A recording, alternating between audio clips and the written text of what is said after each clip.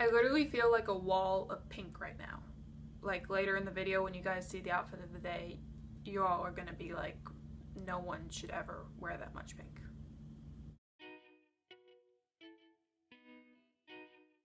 Hey guys! So a little while ago I did a video called The Everyday Struggles of a Tall Girl and it's my most popular video on my channel so far and so I figured why not do the other side of it and do the everyday advantages of a tall girl. So I compiled a list of the pros of being tall, so without further ado, here we go. You get a really good view at concerts and movies. Uh, sometimes people behind you, not so much, but for you, it's awesome. It's really hard to get lost in a crowd. If you can find clothes that'll fit you and that come long enough and in your size, uh, then a lot of them tend to look better on a tall frame. No one ever steals your shoes because they're way too big to fit anyone normal sized. You're never obligated to wear high heels. Like if you go to formal events and stuff and you show up in ballet flats, no one cares. But if a short girl shows up, they're like, why aren't you wearing heels? You can always reach things on high shelves. Some guys actually prefer tall girls. Uh, I've heard it many times, so that's nice. And on that same topic, it is an excuse to reject a guy sometimes. If a guy that's a little bit shorter asks you out and you don't really want to go out with him, you can use the height as an excuse. And you get to call dibs on all the tall guys. I'm not particularly into sports, but for those of us who do like sports, Height is an advantage in a lot of them. Odds are, if you're a tall girl, you have really fabulous long legs.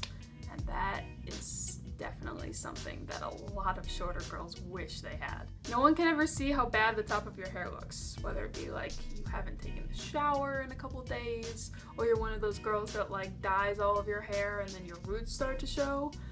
If you're tall, no one can tell.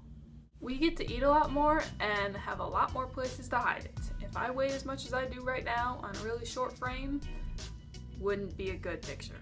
This one may not apply to girls who don't live in like a big city or anything, um, but for me in New York, I'm less likely to be mugged on the street because I'm so tall. I look intimidating. Although I'm not an intimidating or scary or strong person, uh, it kind of adds that effect when I'm walking down the street at night.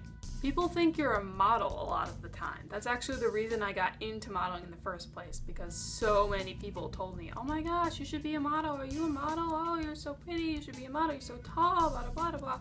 And I'm just like, okay, fine. I'll be a model. um, but even for those of us who didn't actually go into modeling, it's nice to hear that all the time. No girl minds being thought of as a model. That's a great compliment. And lastly, you're memorable you will stick in people's minds for a very long time after they meet you. Uh, it might just be as that really tall girl that they once met, but at least they remember you. A lot of other people wish that they had that automatic presence attention when they walk into a room, so lucky us. So that's all I have for you guys today. Uh, I hope you liked it. If you're a tall girl, then I hope I made you appreciate it a little bit more than you did uh, before this video. And if you're not, then I hope you just kind of enjoyed hearing the advantages. I don't know. But yeah, so comment down below if you have any responses or anything, and I'll see you guys next video. Bye!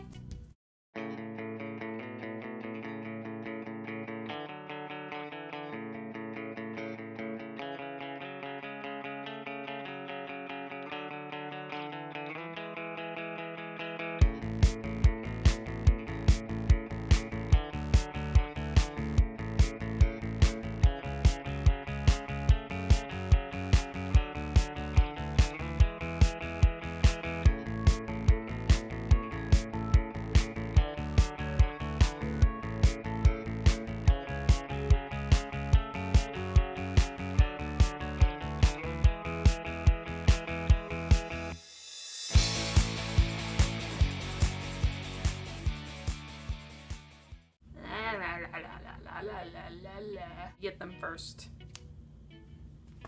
What am I doing? What?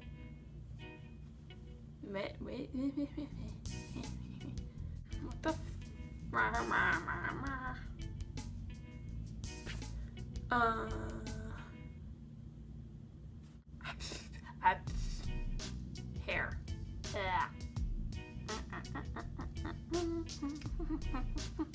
what am I doing? I don't know.